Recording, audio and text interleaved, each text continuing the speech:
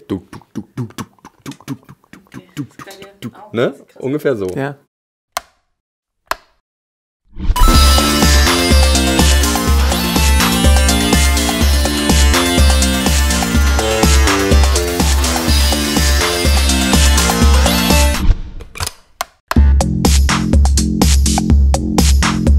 Hallo, hallo, hallo, liebe Freunde und herzlich willkommen in der Nerdstube. Mein Name ist Felix und an meiner Seite ist mein geschätzter Kollege Adam. Hallo. Und uns obliegt die große Ehre, euch heute hier willkommen zu heißen in Tretet dem ein. neuen Format von serienjunkies.de in der Nerdstube. Ja, sieht gut aus, oder?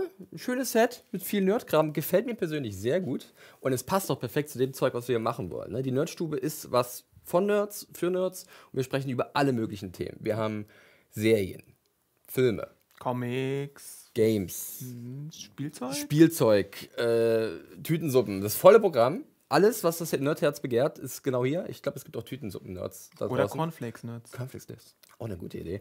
Äh, und wir werden einfach hier in, unserem, in unserer kleinen, gemütlichen Nerdstube über die ganzen Sachen reden und haben uns da viele tolle Sachen für euch ausgedacht und hoffen, dass ihr damit eine Menge Spaß haben werdet. Äh, was einigen vielleicht schon aufgefallen ist, ist, dass wir nicht mehr wirklich live sind. Ne? Bei Twitch gerade. Äh, wir haben das hier alles schön äh, fake live aufgenommen, äh, was uns natürlich ganz neue Möglichkeiten gibt. Ne? Zum Beispiel.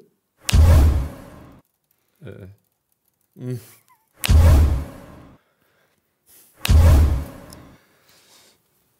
Äh, alles gut, Adi?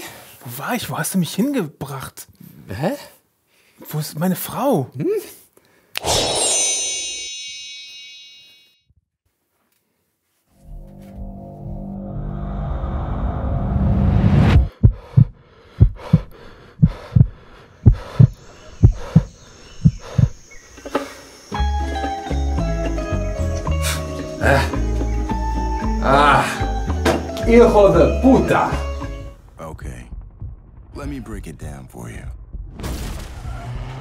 4,000 soldiers, tens of thousands of rounds fired, and a bunch of fucking helicopters.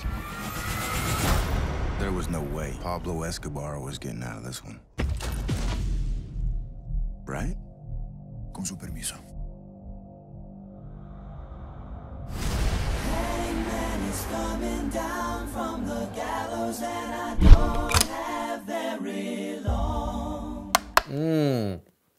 Wenn das mal nicht Tequila aus dem Strohhalm ist. Mm, wie köstlich. Ah, da seid ihr ja wieder.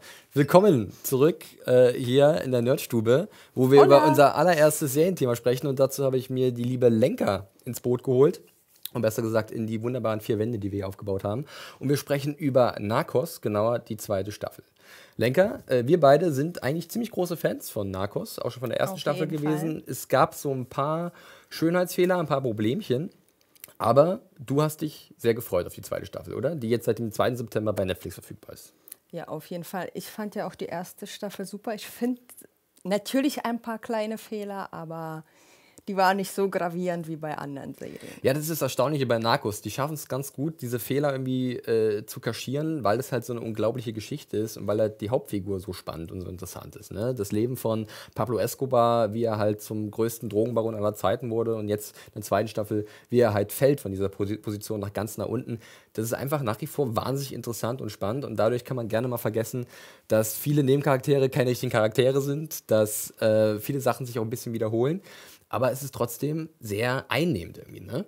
Ja, es ist einfach faszinierend. Ich meine, auch wenn er jetzt ein Drogenbaron war und im Grunde der böseste Mensch auf der Welt oder einer der bösesten, Lass dich nicht ablenken, sprich weiter. trotzdem ist man ja interessiert und fasziniert, wie er alles aufgebaut hat. Das ganze Imperium, ich meine, er hat es wirklich von klein auf quasi das Koks-Imperium überhaupt erst aufgebaut und äh, Koks quasi groß gemacht. Ja, das ist sein Claim auf seinem Grabstein, den er wahrscheinlich dann äh, bekommen hat. Äh, ja, die zweite Staffel äh, zeigt uns jetzt halt, wie er dieser Aufstieg passé ist und wie es halt bergab geht. Ne? Er hat viel Konkurrenz, die Polizei und die kolumbianischen Behörden suchen nach ihm. Und äh, viele von euch haben es vielleicht jetzt schon komplett gesehen, die zweite Staffel, wieder zehn Folgen. Äh, wir haben sie auch schon komplett gesehen und sprechen ein bisschen drüber. Wir werden uns mit den Spoilern zurückhalten. Einen großen haben wir aber, Escobar stirbt. Ja, es ist einfach so. Ja, da hat Netflix am Anfang gleich gesagt, ja, was sollen wir euch denn da anlügen? Es ist nun mal eine doch relativ historisch akkurate äh, Serie. Dementsprechend endet die zweite Staffel damit, dass Pablo Escobar stirbt. Aber ich habe gesagt, hier ist ja der Weg das Ziel. Oder siehst Ja. du das anders, Lenker? Ja, ich war schon ein bisschen überrascht, dass sie das schon in der zweiten Staffel Mhm. machen. Also ich dachte, die ziehen das noch ein bisschen hin, aber es ist stringent. Also man hätte es nicht mehr in die Länge ziehen können, finde ich. Und es war halt der Zeitpunkt gekommen. Es ist ja auch spannend, dass dann irgendwie in der ersten Staffel irgendwie mehr als zehn Jahre seines Lebens gezeigt hat. Dadurch hatte die erste St- äh, Staffel immer für mich so ein bisschen diesen Event-Charakter, dass wir halt jede Folge irgendeine wichtige Epoche oder wichtige Etappe in seinem Leben gesehen haben von Pablo Escobar. Und die zweite Staffel nimmt sich wesentlich mehr Zeit. Die spielt ja ungefähr nur, glaube ich, so ein, zwei Jahre lang oder so. Ich glaube, 16 Monate haben Genau. die am Anfang gesagt. Richtig. Und äh, da merkt man gleich, dass sich ein bisschen was verändert, was mir gut gefallen hat, denn die Macher nehmen sich mehr Zeit. Also du merkst es gerade auch in der ersten Staffelhälfte, finde ich zumindest, dass halt viele Charaktere mal ein bisschen mehr zum Spielen kommen. Es ist nicht mehr Ja. so diese Greatest Hits in Anführungszeichen im Leben von Pablo Escobar, auch wenn die nicht besonders great waren, weil wir dürfen nicht vergessen, er war ein Monster, er war ein Mörder, äh, war einer, der viele Menschen hat umbringen lassen. Äh, aber du merkst jetzt auch, er ist wirklich wieder mehr Charakter und er bekommt Nebenfiguren, die mit ihm interagieren, die uns äh, auch mehr von ihm geben dann automatisch. Das fühlt sich alles ein bisschen lebendiger an. Ich fand halt auch, dass, weil ich eben noch die Staffel 1 gebinged habe, dass in Staffel 1 er irgendwie noch böser rüberkommt. Und in der zweiten Staffel hat man eigentlich nur noch Mitleid mit ihm. Mhm. Also, Es geht ganz schön äh, steil bergab für ihn, ne? ja. Wobei, das ist wieder so ein Problem. Äh, Ich gebe dir da recht, gerade am Ende merkt man so, oh Gott, das ist ja ein armer Tropf, ne? Ja. Aber bei mir ist immer im Hinterkopf, was der Typ getan hat. Und das kann man nicht irgendwie wegdenken. Ne? Das ist halt einer, der halt über, wirklich über Leichen gegangen ist, äh, Familien zerstört hat, äh, im Endeffekt dann auch, was die zweite Staffel zeigt, durch Attentate kleine Kinder umgebracht hat in äh, Bogota. Und wenn man das im Hinterkopf hat, dann ist, fühlt es, also ist es nicht so ganz so einfach, mit ihm mitzufühlen. Ja, aber das war halt bei mir das Problem, weil die erste Staffel lag eigentlich ein Jahr zurück. Ich habe eigentlich vergessen, was er alles getan hat. Und in der zweiten Staffel ist er wirklich der arme Tropf, der auf der Flucht ist. Alle wollen ihm Böses, alle seine äh, Leute verlassen, verraten ihn. Und er bleibt quasi alleine. Und dann, ich frage mich ja auch die ganze Zeit, auf wessen Seite soll man eigentlich sein in dieser Serie? ist vielleicht tatsächlich auch eine, eine Stärke, dass man halt so ein bisschen mehr hin und her gerissen ist. Ähm, man ist irgendwie oft auf der Seite von Escobar, weiß aber ganz genau, nein, man darf es eigentlich nicht Ja, sein. Das ja. verbietet sich rein moralisch. Ja. Und dann sucht man halt auf der anderen Seite jemanden. Und da hatte ich an der ersten Staffel das Problem, dass mir die Jäger von Escobar, also die, äh, die, die EA-Agenten Murphy und äh, Pena, ein bisschen zu blass waren. Ja, du weißt ja, ich hasse Murphy. Du, Lenker hasst Murphy. ähm, aber ich fand jetzt zum Beispiel in der zweiten Staffel haben sie es besser gemacht, denn einer wie Pedro Pascal, den wir Ja. aus Game of Thrones kennen, der auch ein super Schauspieler ist, der hat mehr zu tun bekommen als Javier Peña, als dieser DEA-Agent. Und das war super, das war gut, dass er, wir halt hier wieder eine andere Perspektive hatten, halt die Gegner von Escobar und noch jemand, mit dem wir mitfühlen. Da fand ich Boyd Holbrook als Murphy wiederum ein bisschen schwach, oder? Ganz schlimm. Also mit dem konnte ich überhaupt nicht mitfühlen. Nichts, als er entführt wurde, als seine F Frau ihn verlassen. Also Das war seltsam. Anfall- Also da ist überhaupt keine Empathie ihm gegenüber. Ja, äh, okay, bei Pedro Pascal, er hat natürlich den Game of Thrones Bonus, aber ich fand auch, ich fand auch, er hat das gut gespielt, aber irgendwas hat gefehlt bei Pascal. Das ist aber auch so ein Ding, was ich bei Narcos generell sagen würde. Irgendwas hat gefehlt. Irgendeine Kleinigkeit passt immer nicht so. Ähm, was sie noch gut gemacht haben, fand ich, dass sie halt die Frau von Escobar noch gut mit eingebracht haben. ja, Tata war auf, Escobar. Tata war in Staffel 2 viel, viel besser. Erst wird sich kein Mensch an Tata erinnern, wenn er sie Ja. sich anguckt. Wirklich, es ist einfach so. Und jetzt hat hier Paulina Gaetan, so heißt die Schauspielerin, wirklich viel Material bekommen und hat es auch wirklich wertig umgesetzt und war auch im Endeffekt so ein Mittel dazu, Es Escobar noch ein bisschen mehr zu vermenschlichen. Ja. Weil er halt hier wirklich viel als Familienmensch, als Vater, als Ehemann gezeigt wird, wodurch halt dieser, dieser Konflikt bei uns entsteht. Ja, wenn wir ihn so sehen mit seinen Kindern, gut, die jetzt keine große Rolle haben und nicht viel sagen, aber mit Aber seiner es Frau, es ist halt irgendwie doch ein Typ, der halt äh, alles für seine Liebsten tun würde. Ja, genau. Das, Das, was er tut, ist aber nicht gut. Das, das, das sollte vielleicht sich ein bisschen was anderes da machen oder so. Aber so war halt Escobar, so hat er getickt. Äh, mir ist nur aufgefallen, dass gerade am Ende der Staffel so leichte Abnutzungserscheinungen äh, vorgefallen sind. Und zwar lag das daran, dass halt dieser ganze Konflikt, der sich dann entspinnt, in der zweiten Staffel geht es ja darum, dass Escobar sich gegen seine Konkurrenz vom Kali-Kartell oder von den Pepes, so einer paramilitärischen Gruppe, durchsetzen muss. ähm, dass das sich so ein bisschen wiederholt hat. Immer wieder kam ein neuer Anschlag, dann wurde zurückgeschlagen, dann wurde wieder zurückgeschlagen und wir waren immer irgendwie wieder am Anfang. Äh, klar, das ist die Historie, ne? die haben sie irgendwie äh, versucht, richtig realistisch auch und, und authentisch zu treffen. Aber für mich war das alles sehr ähnlich. Wie ging es dir da? Ja, ich fand auch halt im Finale, gut, ich hoffe, ihr habt es jetzt alle gesehen. Ja, wenn nicht, kurz- kurze Spoilerwarnung, aber gut, Leute. dies, äh, die Staffel gab es vor fünf Tagen, also Die muss man doch schon durchhaben. ganz ehrlich. Nein, ein, auch ich wusste ja, dass es dann im Finale passiert, dass sie ihn kriegen. Und dann war ja erstmal die Szene, wo sie ihn nicht kriegen. Und dann ist es dann nochmal. Ja, Es hat sich ein bisschen fand ich gezogen, ne? Ja. Ja, fand ich nämlich auch. Weil ich dachte, okay, dann kriegen sie ihn jetzt und erzählen dann ein bisschen noch, was danach ist. Aber dann habe ich auf die Uhr geguckt, ach so, das kann ja jetzt noch gar nicht kommen. Ja, das Finale ist natürlich auch äh, cool gemacht. Äh, ja, der Abgang ist, von Escobar ist super. Es ist super, Also äh, passt auch super gut zu dieser visuellen Machart von der Serie, die ich jedes Mal toll finde, wenn ich eine Folge gucke, weil es ist so dynamisch eingefangen. Du hast halt Verfolgungsjagden durch Medellin, durch Bogota, die wahnsinnig spannend sind, auch super cool gefilmt. Also die Kamera ist so, als wärst du einer der Leute, die halt gerade nach diesen Narcos jagen. Und das ist äh, super spannend gemacht. Der Soundtrack, den finde ich auch klasse. ja, das super. ist so. Allein äh, das Intro. Lenker. Da ich schon Gänsehaut, wenn ich das Intro höre. Ich mag ja immer diese Outro-Songs, äh, die ja gerne bei Netflix weggedrückt werden, weil ja gleich die nächste Folge dir vorgeschlagen wird. Aber hört euch die mal wirklich an, weil die sind echt klasse. Schöner lateinamerikanischer Score. Das macht eine Menge Spaß. Und am Ende steht natürlich auch die Frage im Raum, was machen wir jetzt ohne Pablo Escobar? Weil ganz klar, er war irgendwie das, das, die zentrale Element der Serie und jetzt ist er weg. Und jetzt hat Wagner Mura in einem Interview gesagt, äh, es könnte weitergehen. Dritte Staffel ist machbar, aber was passiert da jetzt, Lenker? Ja, ich habe auch zuerst gedacht, ohne Pablo Escobar kann es nicht weitergehen. Mhm. Aber natürlich jetzt mit der Staffel, mit dem Ende von Staffel 2 hat man ja gesehen, dass ich natürlich nach ihm war das Kokaingeschäft ja nicht vorbei, Es war also, wurde vielleicht sogar noch größer, dann, weil Ja. er es halt so mit aufgebaut hat. genau, also da gibt es noch genug äh, Drogenkartelle, die wir noch beobachten Also können wir uns vorstellen, dass äh, vielleicht jetzt irgendwie Petro Pascal eine größere Rolle bekommt und er dann auf die Jagd geht nach dem Kali-Kartell oder nach anderen Ja, äh, das Drogendealern? wurde ja ganz am Ende so angedeutet, dass Pascal äh, noch eine Rolle spielt, noch weiterhin eine Rolle spielt und Holbrook auch? Steve Murphy? Ich du willst ihn hoffe Ne? Seine Geschichte ist vielleicht auch beendet mit dem, mit dem Leben von äh, Pablo Escobar. Aber ich weiß nicht, weil dieses Erbe ist so groß, weißt du? Escobar Ja, natürlich, ich kann halt es mir nicht Figur. ohne Wagner Mura, weil ich Ja. finde ihn so toll, der hat es so gut gespielt, also wirklich so überzeugend. Ich habe heute erst gerade gelesen, irgendwie, er konnte vorher gar, gar kein Spanisch. Ja, hat er, hat er gelernt, in Medellin sogar, war, ein paar Monate hat er da gelebt und hat da Spanisch gelernt für die Rolle. Ich habe keinen Unterschied Und gemerkt. Kilos zugenommen. Und zugenommen. Also er hat es wirklich, er verdient ein Emmy dafür auf jeden Fall. Ja, äh, werden wir sehen, wo die dritte Staffel von Narcos äh, hinführen wird. Es gibt noch keine offizielle Bestellung, zumindest nicht zum Zeitpunkt unserer Aufnahme.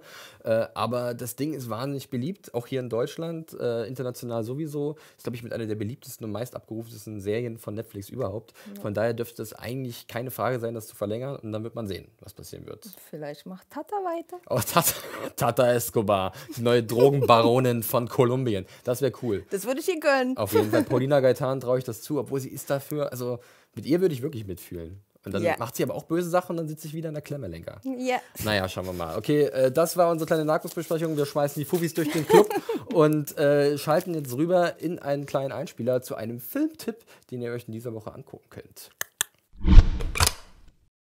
How do I look? Fabulous. Absolutely Fabulous, the movie, startet ab dem 8. September endlich auch in Deutschland. Darin haben die beiden High Society Wannabes, Eddie und Patsy, die bereits zwischen 1992 und 2012 in mehreren Staffeln und Specials ihr Unwesen trieben, nun Kate Moss umgebracht. Kate Moss, darling! Kate, Kate! Altbekannte Charaktere wie Safi, Bubble und Sängerin Lulu dürfen natürlich auch nicht fehlen, wenn unsere wunderbaren Hauptdarstellerinnen Jennifer Saunders und Joanna Lumley nach Cannes fliehen und dabei unter anderem auch auf John Hamm, Joan Collins oder Gwendolyn Christie treffen. Oh God, I can't believe you're still alive. Fans der Serie werden sich etwas über die hohe Produktionsqualität wundern, die im Vergleich zu den älteren Werken doch recht ungewohnt wirkt. Nichtsdestotrotz gibt es unzählige Referenzen zu den früheren Werken und herrlich komische Szenen. Vor allem dann, wenn unsere beiden Heldinnen erneut nach Frankreich reisen und in Cannes versuchen unterzutauchen. Darling! Sweetheart! Sweetie Darlings, die erst jetzt in die Welt von Eddie und Patsy einsteigen, sich die deutsche Synchronfassung antun müssen oder gar nüchtern das Kino betreten, werden sich wohl eher fragen, was an dem Klamauk bitte schön witzig sein soll. Für Abfab-Fans jedoch ein absolutes Kino-Highlight. Nach unserem kleinen Filmtipp äh, für die Woche haben wir jetzt eine weitere neue Kategorie, wie man es so nennen kann, in unserer kleinen Nerdstube. Und zwar reden wir ein bisschen über Comics. Adam, du bist unser ausgewiesener Comic-Experte in der Serienjunkies-Redaktion und du hast uns was Tolles mitgebracht und zwar Flashpoint. Ja. Was ist Flashpoint? Flashpoint ist der Comic, den ihr lesen müsst, wenn ihr Flash verfolgt. Wir beide sind ja große Flash-Fans. Du schreibst die Reviews, ich gucke die natürlich auch. Äh, ich schreibe die Arrow-Reviews, die begleitend dazu sind. Äh, und es ist eine fünfteilige... Serienjunkies-Vers. Genau. genau das. Äh, es ist eine fünfteilige Comicserie gewesen, die im Mai 2011 zum ersten Mal von DC veröffentlicht worden ist. Äh, Autor ist Jeff Jones, Zeichner ist Andy Kubert. Jeff Jones kennt man von vielen, vielen, vielen Comicreihen. JSA, JLA, Flash, der hat alles geschrieben. Green Lantern, ganz viel bei DC, auch ein bisschen Avengers. Andy Kubert hat X-Men geschrieben und Wolverine Origins zum Beispiel. 1602, äh, gezeichnet meine ich. 1602 hat er auch gezeichnet von äh, Neil Gaiman. Äh, Also das sind schon bekannte Größen im Comic- Comic-Universum und ihr solltet das Comic lesen, weil es ja am 3. Oktober weitergeht mit The Flash, der dritten Staffel. Ähm, und das ist die Grundlage für diese Staffel, zumindest für den Beginn der Staffel. Ähm, die Prämisse ist wie folgt. Barry Allen rennt zurück in die Zeit, weil er ja der schnellste Mann der Welt ist, zu dem Zeitpunkt, wo seine Mutter umgebracht wurde und verhindert ihren Tod. Und das löst eine Kettenreaktion aus im gesamten DC-Universum und hat Folgen für alle Helden. Also betroffen sind Batman, Superman, Wonder Woman, Aquaman Genau. und so weiter. Äh, Frage gleich mal zwischendurch. Ähm, bei Comics ist es immer so, wo steigt man ein? Mhm. Ne? Wie kann man da in diesem riesigen Fundus, dieser riesigen Bibli Bibliothek an DC-Comics oder Marvel-Comics, wie kann man da einsteigen? Und wie schaut es da bei Flashpoint aus? Ist es denn äh, einsteigerfreundlich? Also kannst du gut reingehen und dann einfach die Welt von DC äh, also aus einer neuen Perspektive erfahren, weil halt alles sich verändert hat? Prinzipiell schon. Es ist ein sogenanntes Crossover, also es ist eine fünfteilige, auch in sich allein lesbare Reihe. Ähm, sie hat natürlich auch noch ganz viele Begleitreihen, wo dann nochmal die Einzelschicksale der Helden äh, in den Fokus Zum genommen Beispiel wird. Aquaman als Eismann äh, am Strand von Midway City oder so. Aquaman ist in einem Krieg mit Wonder Woman verwickelt, da gibt es eine eigene Miniserie zu. Batman ist nicht mehr Bruce Wayne, sondern sein Vater Thomas Wayne, weil Bruce gestorben ist damals bei dem Attentat auf seine Eltern. Äh, und alles ist so anders. Und Flash hat halt auch keine äh, Geschwindigkeitsfähigkeiten mehr, sondern die muss er durch einen Unfall rekreieren. Und dabei hilft ihm ein anderer Held, nämlich Cyborg und Batman helfen ihm dabei. Ja, und es Die ist wirklich- klassischen Justice League-Gesichter. ja, ne? es ist so ein bisschen, was wäre, wenn ich halt dieses Ereignis äh, verhindert hätte und genau das erfahren wir in dieser Miniserie. Die gibt es äh, entweder beim Comic-Händler als fünfteilige Miniserie so zu kaufen oder man kann sich auch den Trade Paperback kaufen. Und Anne blendet hier jetzt auch, glaube ich, überall schon schöne Bilder ein. ähm, das kann man tatsächlich für sich alleine lesen und es ist halt auch die Grundlage für die sogenannte New 52-Reihe von DC. Von der habe ich auch schon vieles gehört. Adam, kannst du da kurz einen Ausblick geben, was die so um, umreißt oder was man da sich darunter vorstellen kann? Ja, das war der DC-Neustart nach Flashpoint sozusagen 2011, 2012. Da wurden 52 neue Serien gestartet, komplett mit einer neuen Nummer 1. Und da war es halt so, dass gewisse Helden einfach erst seit fünf Jahren existieren. Also Batman zum Beispiel hat erst seit fünf Jahren äh, Verbrechen bekämpft. Superman ist noch in Jeans und Shirt angetreten. Und es gab so ein paar neue Ansätze, die jetzt aber auch durch die Rebirth-Reihe, die jetzt vor kurzem Oh, es gestartet ist bei. DC, äh, dann wieder ad absurdum geführt wurden und teilweise wieder äh, eine andere. Aber das ist Ansatz. natürlich dann, wenn du dann so ein, wie so eine Art Neustart hast, natürlich perfekt für so einen riesigen Verlag wie DC, ne, dass du sagen kannst, okay, wir haben jetzt irgendwie jahrelang äh, die Geschichten vielleicht teilweise auch ein bisschen totgeritten, jetzt Ja. können wir dem Ganzen nochmal einen neuen Spin geben. Ähm, wie, wie lange ist jetzt schon Flashpoint äh, her? Also wann, wann kam das 2011. raus? 2011, Also fünf also Jahre. Mhm. fünf Jahre. Ist ja noch relativ jung der Zeitraum eigentlich, ne? Und vermutlich gibt es da schon Pläne, das noch weiter zu spinnen, bis man dann vielleicht dann irgendwann wieder so ein wie so klärendes Ereignis hat, wo vielleicht wieder alles umgedreht wird, Im oder? Prinzip oder ist es dann einfach nur so ein, so ein fieser Mechanismus, der ein bisschen billig ist, weil wir denken, okay, wir haben jetzt irgendwie äh, uns in die Ecke manövriert. Ach, lassen wir einfach Barry Allen zurückreisen, die Vergangenheit und alles verändern. Man kann schon damit rechnen, dass alle fünf Jahre bei DC so ein Großereignis kommt, was dann so ein großes Reinemachen ist. Entweder werden alle Serien nochmal äh, auf die Nummer 1 gesetzt oder ein paar Serien werden auf die Nummer 1 gesetzt. Das Universum wird einmal komplett nach außen gedreht. Also sowas ist immer wieder da, weil du einfach auch eine neue Lesergeneration einfangen möchtest. Es ist, es ist vielleicht äh, äh so eine komische Art und Weise, aber die denken sich halt, ach ey, was interessiert uns unser Gewäsch von gestern? Nach fünf Jahren holen wir einfach mal wieder neue Helden raus. Und so ist es jetzt auch wieder bei aktuellen Rebirth-Ding. Also da hast du wieder ein Clear Slate, Tabula Rasa und dann geht es wieder von vorne los. Dann hat Superman auf einmal auch einen Sohn, wie Batman ja auch jetzt hat, oder der Flash ist wieder Single. Ähm, ja. Und du hast natürlich die Möglichkeit, vielleicht deine Superhelden ein bisschen anders zu besetzen, ne? mhm. vielleicht noch ein bisschen diverser, weil wenn wir uns ganz irgendwie die Superhelden von aus der ersten Güte irgendwie so vor Augen führen, dann sind das schon irgendwie sehr identische Charaktere, so nicht im Sinne, wie sie ticken, sondern wie sie einfach äußerlich rüberkommen. Ne? Ja. Und du kannst jetzt sozusagen mal sagen, okay, wir nehmen mal einen Flash, der vielleicht einen lateinamerikanischen Hintergrund hat oder einen afroamerikanischen Hintergrund, ja. andere Ethnie entspricht als der Urflash, äh, was so natürlich auch ja interessant ist. Bei Wally West zum Beispiel gemacht, der bei New 52 dann ein Schwarzer war, ein schwarzer junger äh, Flash, Kid Flash, der dann irgendwann seine Kräfte bekommt. So hat man es auch ein bisschen bei Green Lantern gemacht, wo dann ein bisschen ausgewechselt wurde. Da gibt es einen arabischen Green Lantern und ähm, ja, bei anderen Helden macht man es auch so. Blue Beetle zum Beispiel hat auch einen anderen ethnischen Hintergrund bekommen. Und du hast gerade Kid Flash erwähnt. Ähm, da können wir jetzt gleich vielleicht noch kurz die Brücke schlagen zur Serie, die du vorhin schon erwähnt hast. Äh, startet ja am 4. Oktober äh, bei DCW. Äh, und wie bereits erwähnt, Flashpoint ist der große Aufhänger. Die erste Episode heißt auch Flashpoint direkt. Mhm. Und wenn wir uns jetzt mal den Trailer angucken dazu, die dürfte vielleicht auch irgendwo ins Bild reinfliegen, dann sieht man schon irgendwie, dass halt alles anders ist, nachdem Barry halt seine Mutter gerettet hat in der Vergangenheit und äh, er manche Leute gar nicht mehr kennt oder sie ihn nicht mehr kennen. Uh, und das könnte natürlich sehr interessant werden, wenn man jetzt zwei Staffeln lang Flash gesehen hat und sich jetzt alles verändert. Was ja. hast du da für Erwartungen, gerade weil du ja auch den Comic kennst? Ähm, ich frage mich halt, also meine Erwartung ist, dass es ein bisschen länger geht, vielleicht zwei, drei Episoden. Eigentlich hätte ich mir fast gewünscht, dass sie eine ganze Staffel draus machen, aber weil das Universum, das Arrowverse mit vier Serien inzwischen so weit verwoben ist, wird man wahrscheinlich die Ripple-Effekte nicht so weit spüren können. Ja. Aber ich freue mich einfach mal, dass wir wieder so ein bisschen eine andere Welt sehen. Wir hatten ja in der Staffel 2 schon Erde 2 äh, zu sehen, wo es äh, alternative Versionen gab. Auch so, ne? Genau. Ja. Und jetzt sehen wir halt einen Flash, der, glaube ich, mit Reverse Flash zusammenarbeiten wird müssen, um wieder seine alte Welt irgendwie herzustellen. Und das wird ja nicht ohne unvorhergesehene Konsequenzen ablaufen, wahrscheinlich. Wenn er denn überhaupt das so weit will, weil es ist für ihn ja schon was, äh, Besonderes jetzt, dass er seine Eltern wieder hat. Ne? Äh, das ist jetzt vielleicht auch so ein kleiner Spoiler, also Vorsicht. Äh, es ist ja was passiert mit äh, den Eltern von, von Barry, äh, also mit der Mutter sowieso, mit dem Vater dann aber auch am Ende mhm. der zweiten Staffel. Und das kann er jetzt alles umdrehen, was natürlich für die Darsteller gut ist, weil sie haben weiter einen Job. aber man muss sehen, wie das dramaturgisch funktioniert. Ne? Ja. Weil jetzt haben sich irgendwie diese ganzen tollen Charakterdynamiken, die schon Spaß machen. Ich denke zum Beispiel an Cisco und Barry und so, dieses, dieses Duo oder auch mit Harrison Wells äh, noch als, als Dritter dazu, ähm, die werden jetzt natürlich aufgebrochen und es wird was Neues entstehen. Und da wird man sehen, ob man da Vertrauen hat, das über mehrere Folgen zu machen oder ob man sagt, äh, nicht, dass uns die Leute abspringen, machen wir es lieber nur für ein oder zwei Folgen. Gerade bei Cisco sieht man ja im Trailer, dass er eine ganz andere Figur ist als auf Erde 1. Er ist einer der reichsten Menschen überhaupt. Wahnsinnig arrogant. ich bin wieder mal sehr gespannt, wie es auch schon nach der äh, ersten Staffel war, was sie mit Harrison Wells machen, wie sie den Schauspieler zurückbekommen. Da gibt es ja auch verschiedene Möglichkeiten, ihn zu holen, weil es so viele verschiedene Welten auch bei The Flash gibt. Ähm, es soll ja neue Speedster geben.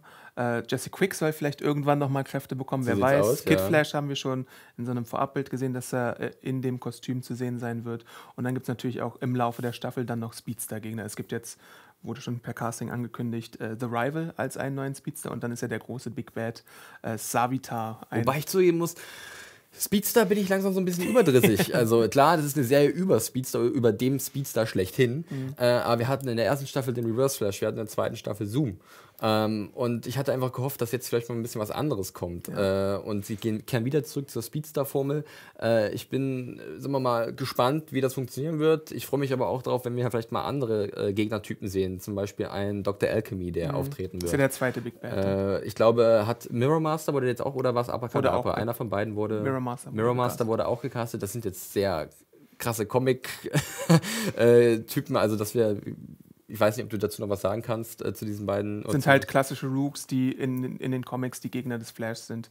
Der Mirror Master kann halt in jede spiegelnde Oberfläche reingehen und damit auch reisen. Also wenn er einen Spiegel hat, kann er da reingehen und dann irgendwie flüchten und dann am anderen Ende der Stadt rauskommen. Und äh, Dr. Alchemy hat auch so magische Fähigkeiten und den Stein der Weisen, mit dem er dann Der Stein der kann. Weisen? Genau, der Stein der Weisen. Ansonsten Gottes vielleicht noch dazu zu sagen, Jo, äh, Wizard Harry. es gibt Flashpoint auch nochmal als animierten äh, Film, den kann man sich anschauen, falls ihr die Story nicht auf Papier lesen wollt. Ansonsten schnappt euch irgendwie den Comic beim gut sortierten Comicladen, bei Amazon Gibt oder ja bei sicherlich Panini auch als Comics. äh, E-Comic, wenn man das so Genau, kann. bei oder? Comixology kann man den auch runterladen. Also da gibt es vielfältige Möglichkeiten, um da ranzukommen. Und von dir gibt es eine uneingeschränkte Empfehlung für Flashpoint, auch gerade vielleicht für Neueinsteiger im Comic, in der Ja. Comicwelt, oder? Ja, ja. Ja, somit dann halt zu unserer Comic-Empfehlung Flashpoint und ein kleiner Flash-Talk obendrauf. So, Adam, wir haben jetzt das Comic-Thema abgehakt, machen aber gleich weiter mit dem nächsten Thema. Denn nachdem wir schon über eine Serie gesprochen haben, nachdem wir was zum Film hatten und nachdem wir jetzt über einen Comic gesprochen haben, kommen wir jetzt zu unserer vierten Superkategorie und zwar Games. Games, äh, da haben Adam und ich uns nämlich die Open Beta von Battlefield 1 angeguckt, ein bisschen reingespielt und das Material dazu, beziehungsweise Ausschnitte, seht ihr jetzt.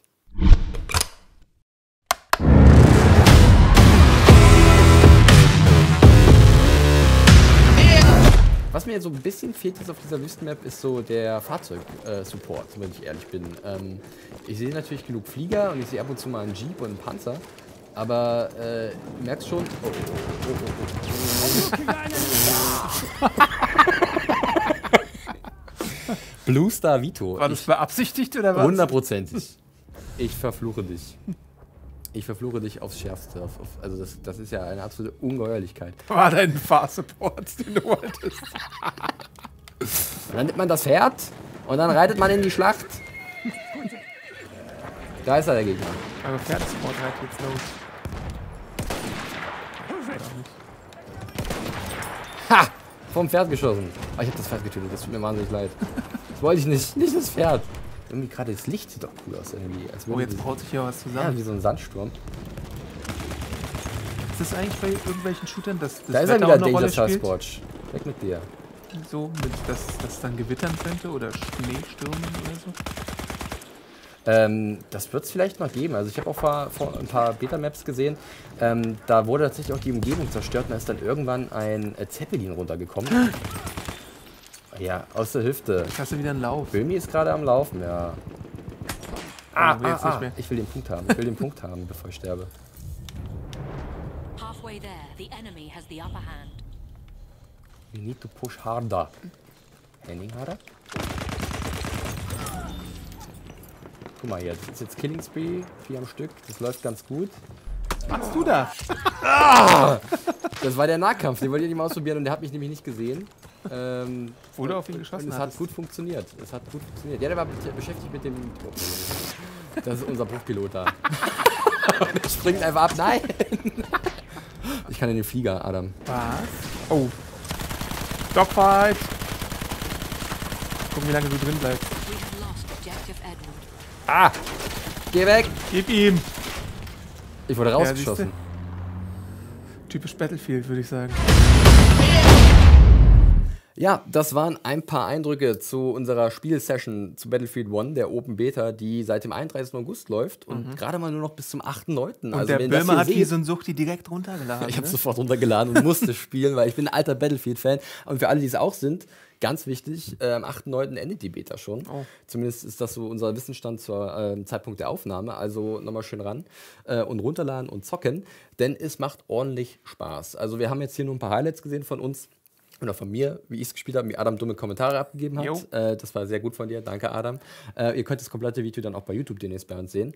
Äh, und dann sind auch noch mal ein paar Eindrücke von uns genau äh, festgehalten. Wir werden das versuchen, das mal ganz kurz zusammenzufassen. Ähm, ich habe ja gespielt und kann ich schon mal sagen, äh, es macht echt viel Spaß. Das ist, glaube ich, auch das, was ich am meisten gesagt habe äh, im ganzen Let's Play. Äh, ich hatte es schon erwähnt, ich bin ein alter Battlefield-Fan. Das ging mit 1942 los. Vietnam, Battlefield 2, Battlefield 3. Zwischendurch mal ein paar Dinge ausgelassen. Und bei Battlefield 1 war ich jetzt schon ziemlich gespannt, weil das Setting ist ja auch cool, oder? Ja. Wo bewegen wir uns? Wir sind im Ersten Weltkrieg, wo es so ein paar Spitzhauben gibt oder so. Der alte Fritz ist auf dem Pferd unterwegs. Es gibt ein paar Oh, Zeppeline. Flugzeuge Äh, So Dogfights mit so roten Baronen und so. Panzer. Ja. Äh, wie ihr gesehen habt, wir spielen so eine Art äh, Wüstenmap in der, in der Beta. Leider nur eine Map Es in gibt der nur Beta. eine, ja. Ähm, die ist aber ziemlich cool. Da kann man unter anderem zu Pferde in die Schlacht reiten, was ziemlich Das war mein. Lieblingsteil mit, würde ich fast sagen. Besonders, ich habe mir da äh, interessante Kämpfe geleistet oder geliefert, besser gesagt, mit, mit äh, anderen berittenen äh, Kriegern oder Soldaten. Ähm, das hat auf jeden Fall ordentlich gebockt und ich muss auch zugeben, ähm, ich war mir nicht so sicher, wie das funktioniert, weil ich habe Battlefield immer viel mit äh, Tastatur und äh, Maus durchgespielt. Mhm. Ich bin ein alter PCler und ein Shooter von der Art funktioniert für mich eigentlich auch nur am PC. Weil ich brauche diese Tastatur- und Maussteuerung. Jetzt auf dem Controller ist es ein bisschen was anderes. Man kennt halt diese Art Deckungsshooter, wo es relativ einfach ist, auch zu schießen mit dem Controller. Aber so ein richtiger Shooter ist eine kleine Herausforderung für mich gewesen. Äh, hat dann Hast aber ganz gut gemacht, muss man ja sagen. Ich finde auch, äh, Außer die eine Runde, die war so ein bisschen noobig. ja, das passiert halt mal, ja. Da war ich vielleicht auch ein bisschen zu gallig. Nee, äh, ich hatte mich dann doch relativ schnell dran gewöhnt und äh, man muss natürlich immer gucken, wo sind die dementsprechenden Tasten, wie ist die Steuerung. Man muss da sich ein bisschen drauf einschießen, äh, im wahrsten Sinne. Auf einschießen, ja. Aber dann, wenn das läuft, dann, äh, dann ist das eigentlich eine ziemlich runde Sache. Und dann hat es auch ganz gut funktioniert. Die Server liefen sehr stabil, als wir gespielt Ja. haben, was ja beim Betas immer so eine Sache ist. Es gab am Anfang ein paar Probleme, ähm, was aber normal ist, würde ich sagen, weil wenn alle auf einmal das Spiel spielen wollen, klar, dass da irgendwie mal die Serverräume anfangen zu rauchen. Das ist, glaube ich, ganz normal. Grafikprobleme gab es auch nur so zwei, drei, die wir jetzt beobachten konnten, wo Texturen dann irgendwie so äh, ein bisschen im Bild waren, wo sie nicht zu suchen hatten. Und dann Genau. gab es den Kylo Ren-Effekt, wo dann äh, Sch Schüsse quasi in der Luft Es äh, war in der Luft festgegangen. Es war, aber das waren halt so kleine Details, nur die nicht so wahnsinnig störend waren. Vom Spielgefühl war es ziemlich super und du als Beobachter, du hattest ja auch deinen Spaß, gerade Ja. auch von der Grafik, oder? Ich fand die ziemlich cool. Ja. Mir hat am meisten Spaß gemacht, wie du von dem Pferd einmal umgetreten worden bist. Und als der Panzer auf einmal so gezielt ankam und dich dann mitgenommen hat. Weil so, sowas erfordert auch ein bisschen Skill, glaube ich. Gegner aber, oder was? Oder Glück. Ja, äh, das wird man sehen, wie sich das dann die Waage halten wird. Äh, ich bin gespannt, wie es abgehen wird auf den Konsolen, weil wie gesagt, Battlefield war für mich immer mehr ein PC-Titel. Äh, aber die Server waren ganz gut besucht. Äh, die beiden Spielmodi, die wir gespielt haben, es gibt Conquest und Rush, waren auch gut besucht. Bei dem einen nimmt man halt normal Punkte ein, bei dem anderen versucht man Punkte zu verteidigen oder, oder, oder eben anzugreifen, ähm, was dann halt auch ein bisschen auch den Spielfluss beeinflusst. Ne? Rush Ja. dementsprechend ist ein bisschen schneller, Conquest ist ein bisschen taktischer, ist zumindest mal mein Eindruck. Äh, aber beide Modi haben viel Spaß gemacht. Und was Conquest ist eher sowas für die älteren Semester. Also da hätte ich vielleicht auch noch so ein bisschen meinen Spaß gehabt. ja, du, du hast ja auch gesagt, es war wahnsinnig schnell für dich als Ja. Beobachter, oder? Und ich hatte auch so meine Probleme, wenn man denkt, um Gottes Willen, wie findet man sich hier zurecht? Gerade auch, weil die Gegner auch tückisch getarnt sind. Was im Krieg nicht unlogisch ist. Also es ist irgendwie auch ganz clever. Aber es ist auch eine Herausforderung für mich als Spieler, dann den Gegner auszumachen. Ähm, was mir persönlich auch ganz gut gefallen hat, war äh, dieses dynamische Wetter. Das ist uns aufgefallen beim Spielen, dass auf einmal der Himmel ein bisschen dunkler wurde, dass irgendwie so eine Art Sandsturm kam oder Ja. so. Und äh, das finde ich cool. Ich hoffe, das werden sie dann im Hauptspiel auch mehr machen. Ich hoffe auch auf so Schneestürme oder irgendwie Ich habe gelesen tatsächlich, dass man an manchen Schlachtfeldern, gibt es dann so dichte Nebelbänke, wo man halt auch dann weniger Sicht hat, was natürlich auch da diese Kriegsführung beeinflusst. Das finde ich ein cooles Gimmick, genauso wie die zerstörbare Umgebung. Ne? Ähm, ich habe, äh, vorher gab es so eine Closed Beta, da hat man äh, eine Map gesehen, da ist irgendwann ein riesiger Zeppelin abgestürzt. Das sah fantastisch Warum hatten aus. wir den Zeppelin nicht? Den haben wir leider nicht in der Open Beta, das ist sehr schade. Das wäre, glaube ich, Adams absoluter Lieblingsmoment gewesen, als alter Zeppelin-Fan. Äh, und äh, da hoffe ich, dass sie noch ein paar Pfe- Pfeile im Köcher haben und äh, dementsprechend äh, auch coole Maps mit coolen kleinen. Also, es soll nicht zu verspielt sein. Es muss jetzt auch nicht vollgepackt sein mit irgendwelchen Gimmicks, die passieren. Aber wenn du so ein kleines Event hast, jede Runde, wo halt alle darauf hinarbeiten, ähm, wo halt der halt auch dann die, oder dieses Event kann halt diese Schlacht auch entscheiden, dann finde ich das eigentlich ziemlich spannend. Und du kannst es auch gut einbauen in deine, deine taktische Kriegsführung. Also, das hat auf jeden Fall eine Menge Spaß gemacht. Ähm, Mehr seht ihr natürlich bei uns im Video wo wir ganz viele Klassen ausprobiert haben, Ja. wo wir Alle versucht Klassen, haben, also Die da waren. alle, alle, die da waren, wo wir ein bisschen äh, versucht haben zu erklären, wie das Spiel an sich funktioniert für alle Battlefield-Laien. Äh, bei mir ist es eine Weile her, aber ich habe mich, glaube ich, ganz gut an viele Sachen erinnert.